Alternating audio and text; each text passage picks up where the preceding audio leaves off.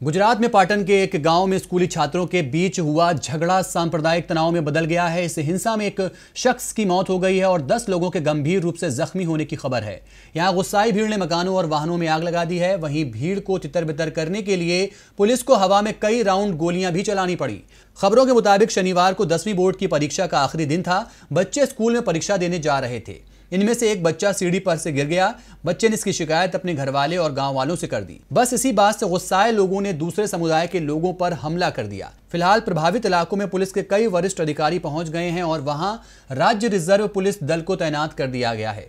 स्थिति अब नियंत्रण में बताई जा रही है। पाटन के पुलिस अधीक्षक ने कहा कि इस झड़प में 50 साल के एक व्यक्ति की मौत हो गई और कई लोग घायल हैं। चारसणा पुलिस थाने के निरीक्षक ने कहा कि पुलिस ने भीड़ को तितर बितर करने के लिए हवा में भी कई राउंड गोलियाँ चलाई।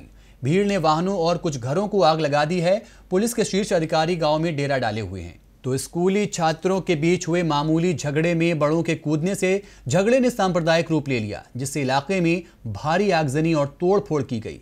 फ़िलहाल इलाके में भारी संख्या में सुरक्षा बल तैनात कर दिया गया है। देखते रहिए डीबी लाइव।